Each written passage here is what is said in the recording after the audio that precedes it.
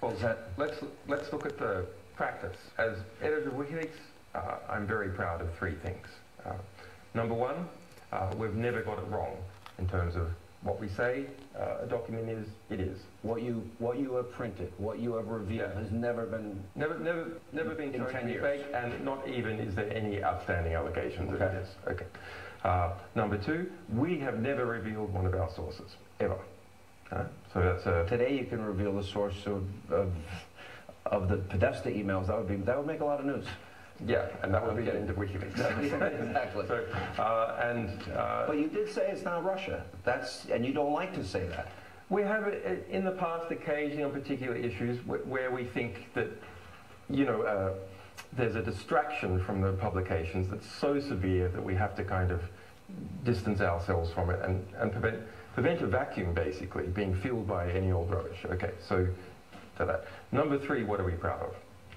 Uh, we are proud that uh, there's not a single instance of anyone coming to physical harm as a result of our publication. Let me ask you, have you made conscious decisions as the founder and editor to withhold information because you, you, would, you thought the release of such information would result in somebody's death? Uh, In other words, means, no, methods, wh- wh- where, that, where we, we thought there, there was a, a, a significant risk. you're very conscious of that. Yeah.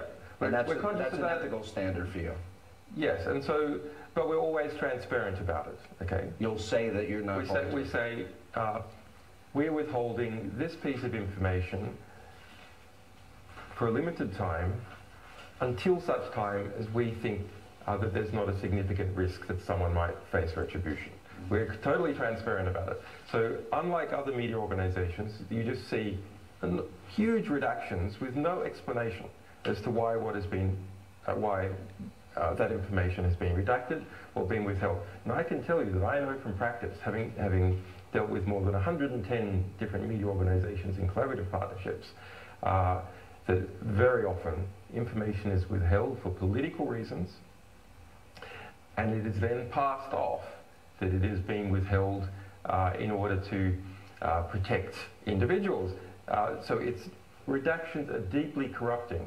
Uh, and we are fighting to set a You're new describing the New York Times. You're describing ABC, NBC, CBS, Politico. You're describing the mainstream media in America. These, Uh, and and we, Wiki- had similar, we, WikiLeaks has shown us. we had similar problems with uh, The Guardian, uh, Le Monde, London. El País. Now, there were also fine journalists who did good work. Hmm? So it's not everyone.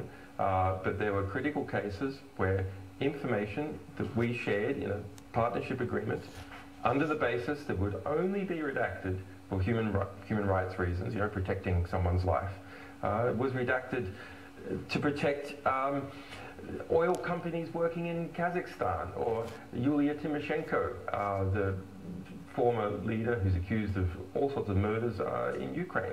So uh, here's the basic problem with censorship. Once again, it creates an opaque system where people can't see what were the reasons for the censorship. You know, you know, uh, in the justice system, we say there must be open justice for there to be justice. The, the judge, while trying, must themselves be tried before the public. Is it fair to say? That doesn't happen when it doesn't happen when a media organization is engaged in just sweeping things under the rug. Is it fair to say that WikiLeaks is more interested in government corruption that's impacting the lives of people, not superfluous, um, uh, scandalous lives of, of big stars? Yeah, we, don't- we don't publish. You don't publish We don't publish it. Right, let me- we, I think let me uh, ask this We have we haven't actually been. I, I'm not sure we've ever been put in a position where we've had Right. to make that determination. Because that's not what you do. Those people goes to TMZ, for example.